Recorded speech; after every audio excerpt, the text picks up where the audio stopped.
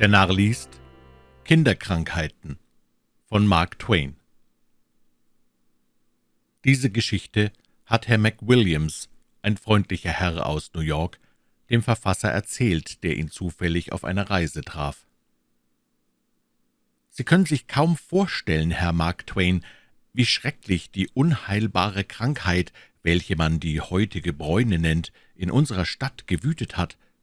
Ebenso schlimm als die Krankheit selbst war der Umstand, dass alle Mütter vor Angst und Schrecken fast den Verstand verloren. Hören Sie zu, was ich mit meiner Frau während jener Zeit erlebte. Eines Mittags kam ich nach Hause und machte meine Frau auf die kleine Penelope aufmerksam, indem ich bemerkte, »Mein Herz, ich würde an deiner Stelle nicht erlauben, dass das Kind an dem Kienspan kaut.« »Was in aller Welt soll denn das schaden?« entgegnete sie, schickte sich aber zugleich an, den Span fortzunehmen.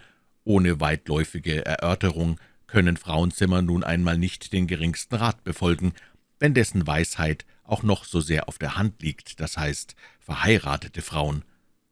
Ich erwiderte, »Herzchen, man weiß, dass keine Holzart so wenig Nährwert für ein Kind besitzt wie Tannenholz.« Meine Frau zog die Hand zurück, mit der sie den Span ergreifen wollte, und legte sie wieder in den Schoß.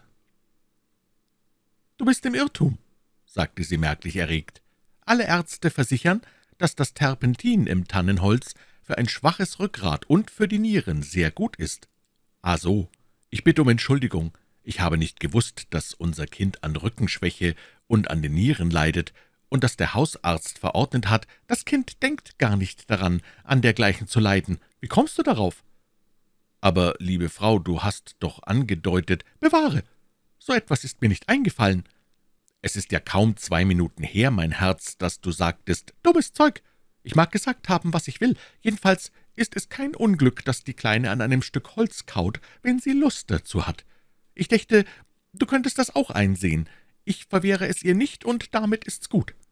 Ereifere dich nicht, mein Kind. Ich sehe schon ein, dass du recht hast und werde gleich ausgehen, um ein paar Klafter vom besten Tannenholz zu bestellen. Solange ich lebe, soll mein Kind... »Oh, bitte, geh in dein Geschäft und lass mich einen Augenblick in Ruhe. Man kann auch nicht die geringste Bemerkung machen. Du musst darüber streiten, streiten, streiten, bis du nicht mehr weißt, wovon du sprichst, wie immer.« »Nun, gut, du sollst deinen Willen haben. Aber in deiner letzten Bemerkung war ein Mangel an Logik, der, ehe ich jedoch ausgeredet hatte, war sie zur Türe hinausgesegelt, und hatte das Kind mitgenommen. Als ich am Abend desselben Tages zur Tische nach Hause kam, trat sie mir mit kreideweißem Gesicht entgegen. »Oh, Mortimer, ein neuer Fall! Der kleine George vom Nachbar Gordon ist krank.« »Heutige Bräune, heutige Bräune!« Hat der Arzt noch Hoffnung? »Nicht die geringste. Oh, was soll aus uns werden?« Kurz darauf brachte eine Wärterin die kleine Penelope herein, um uns gute Nacht zu sagen und das übliche Abendgebet auf der Mutter Schoß zu sprechen. Aber mitten in »Jetzt leg ich mich zur süßen Ruh«, hustete sie ein wenig. Meine Frau fuhr zurück, als hätte sie der Schlag gerührt, doch schon im nächsten Augenblick war sie auf den Füßen, der Schrecken spornte sie zu fieberhafter Tätigkeit. Sie befahl, das Bett des Kindes aus der Kinderstube in unser Schlafzimmer zu bringen und ging selbst mit, um die Ausführung des Befehls zu beaufsichtigen. Natürlich musste ich auch dabei sein, und wir brachten die Sache schnell in Ordnung. Für die Kinderfrau wurde ein Bett in dem Ankleidezimmer meiner Frau aufgeschlagen. Nun fiel ihr aber ein, dass wir zu weit von dem anderen Kinde entfernt seien, und wenn sich in der Nacht bei ihm Symptome zeigen sollten, mein armes Frauchen wurde wieder leichenblaß. Darauf schafften wir das Kinderbett und die Kinderfrau wieder in die Kinderstube und schlugen für uns beide ein Bett im Nebenzimmer auf. Plötzlich bekam meine Frau jedoch Angst. Penelope könne den Kleinen anstecken. Dieser Gedanke jagte ihr ein solches Entsetzen ein, dass ihre ganze Hilfsmannschaft das Bettchen nicht schnell genug wieder hinaustragen konnte. Meine Frau half in eigener Person und riss es beinahe in Stücke in ihrer verzweifelten Hast. Wir zogen in den unteren Stock, aber da war nicht Platz genug, die Kinderfrau unterzubringen, und meine Frau meinte, ihre Erfahrung würde eine unschätzbare Hilfe sein. So kehrten wir denn mit Sack und Pack wieder in unser eigenes Schlafzimmer zurück und fühlten uns so glücklich wie ein Paar vom Sturm verschlagene Vögel, die ihr warmes Nestchen wiederfinden. Meine Frau eilte jetzt in die Kinderstube, um zu sehen, wie es dort stände. Im Nu war sie aber wieder da, von neuer Furcht ergriffen. »Wie kann es nur kommen, dass der Kleine so fest schläft?« »Aber mein Herz«, sagte ich, »der Kleine schläft ja immer so fest, dass er aussieht wie ein Bild.« »Ich weiß, ich weiß, aber heute hat sein Schlaf etwas Unnatürliches. Er scheint, er scheint so regelmäßig zu atmen.« »Aber, liebes Kind, er atmet immer regelmäßig.« »Oh, das weiß ich, aber heute macht es einen schrecklichen Eindruck. Seine Wärterin ist viel zu jung und unerfahren. Marie soll bei ihr bleiben, damit sie bei der Hand ist, wenn etwas passiert.« »Das ist ein guter Gedanke. Aber wer wird dir helfen?« »Du kannst mir alle Hilfe leisten, die ich brauche. Ich werde mich ja sowieso in dieser schrecklichen Zeit auf keinen Menschen verlassen, sondern alles selbst tun.« Ich erwiderte, dass ich mich selbst verachten würde, wenn ich zu Bett gehen und schlafen wollte, während sie wachte und sich um unsere Kranke mühte, die lange, bange Nacht. Doch endlich ließ ich mich überreden. So begab sich also die alte Marie wieder zurück auf ihren Posten in der Kinderstube. Penelope hustete ein- oder zweimal im Schlaf. »Warum nur dieser Doktor nicht kommt, Mortimer?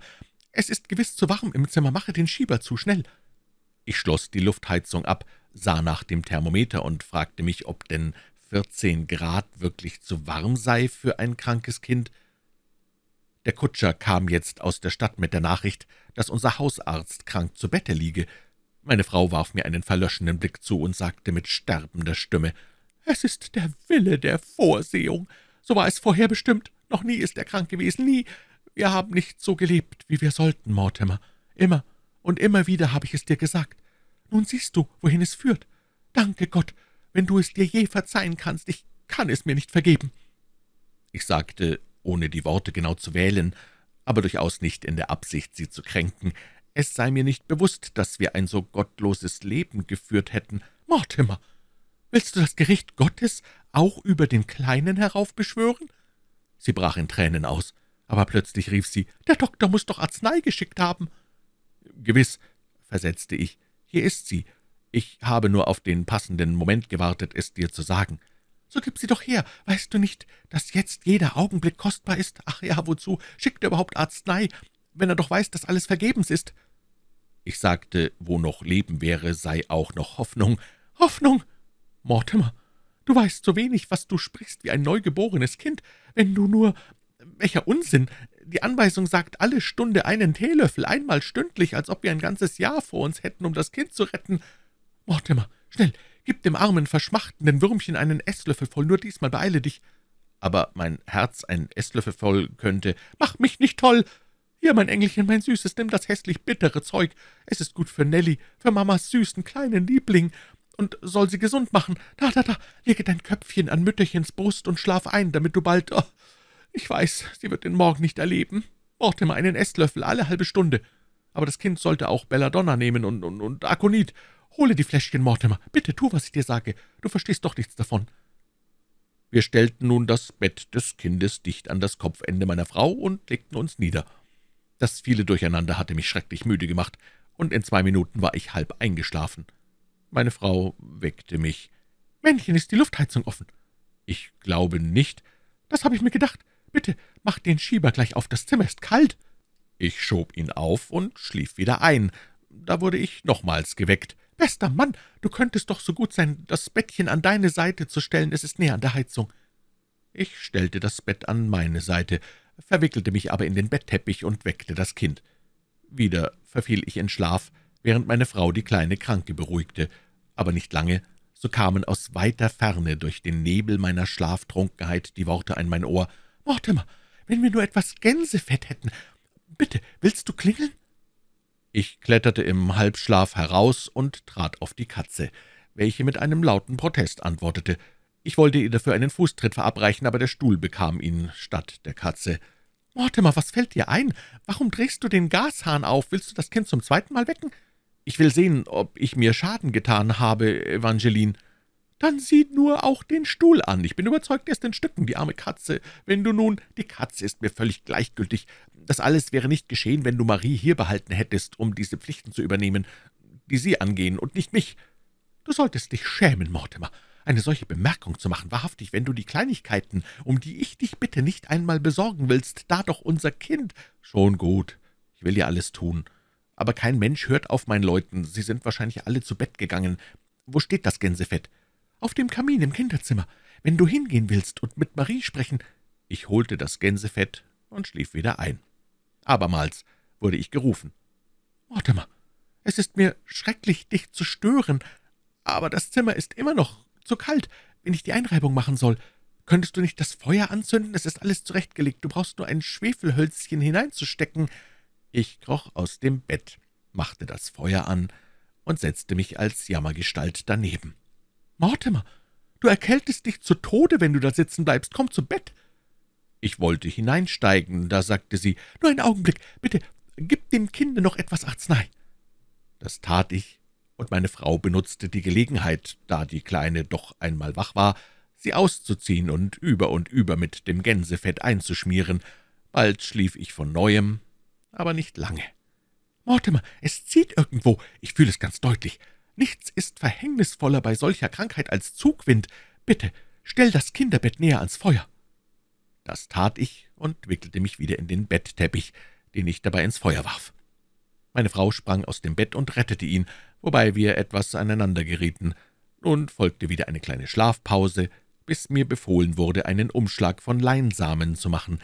Dieser wurde dem Kinde auf die Brust gelegt, um dort seine heilende Wirkung zu üben. Ein Holzfeuer hat nicht lange Bestand.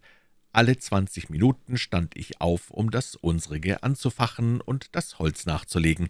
Dadurch verkürzten sich auch die Zwischenräume beim Eingeben der Arznei um zehn Minuten, was meiner Frau eine große Erleichterung war. Dazwischen erneuerte ich die Umschläge und legte einen Senfteig oder andere Zugpflaster überall da auf, wo noch eine freie Stelle an dem Kinde zu finden war. Endlich gegen Morgen war das Holz verbraucht, und meine Frau meinte, ich solle in den Keller gehen, um welches zu holen. »Das ist eine schwere Arbeit, liebes Kind«, bemerkte ich. »Der Kleinen ist gewiss warm genug bei ihren vielen Umhüllungen. Wir können ihr ja auch noch eine Lage Brei auflegen und...« Ich kam nicht zu Ende, denn ich wurde unterbrochen. Eine Weile schleppte ich Holz herauf und kroch dann wieder in mein Bett. Bald schnarchte ich, wie nur ein Mensch schnarchen kann, der völlig abgemattet ist an Körper und Geist. Bei Tagesanbruch fühlte ich ein Rütteln an meiner Schulter, was mich schnell zur Besinnung brachte. Meine Frau stand mit stierem Blick vor mir und rang nach Luft. Sobald sie sprechen konnte, sagte sie, »Es ist alles, alles aus. Das Kind schwitzt. Was fangen wir an?« »Mein Gott, wie du mich erschreckt hast. Ich weiß nicht, was ich dir raten soll. Vielleicht, wenn wir alles abkratzten und Penelope wieder in den Zug brächten?« »Welcher Blödsinn!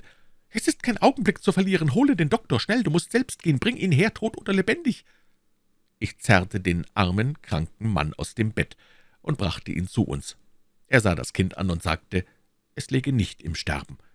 Das war mir eine unaussprechliche Freude, aber meine Frau wurde so böse, als habe er sie persönlich beleidigt. Dann meinte er, der Husten des Kindes wäre nur durch einen kleinen Reiz in der Kehle verursacht. Wie er das sagte, fürchtete ich fast, meine Frau würde ihm die Türe weisen. Der Doktor wollte die Kleine nun stärker zum Husten bringen, um die Störung zu beseitigen. Er gab ihr etwas ein, sie hustete heftig, und herauskam ein kleiner Holzsplitter. »Das Kind hat keine Bräune«, sagte der Arzt. »Es hat an einem Stück Tannenholz gekaut und ein paar Splitter in den Hals bekommen. Die werden ihm nichts schaden.« »Nein«, sagte ich, »das glaube ich auch. Das Terpentin darin ist sogar sehr gut für einige Krankheiten, die bei Kindern vorkommen. Meine Frau kann Ihnen das sagen.« Aber das tat sie nicht. Sie wendete sich empört von uns ab und verließ das Zimmer. Seit der Zeit ist in unserem ehelichen Leben eine Episode, die wir nie erwähnen. Im Übrigen fließt der Strom unserer Tage in ungetrübter Heiterkeit dahin. Sehr wenige Ehemänner haben ähnliche Erfahrungen gemacht wie Herr McWilliams, Deshalb dachte der Verfasser dieses Buches, die Sache würde durch ihre Neuheit, vielleicht in den Augen des Lesers, ein flüchtiges Interesse erhalten.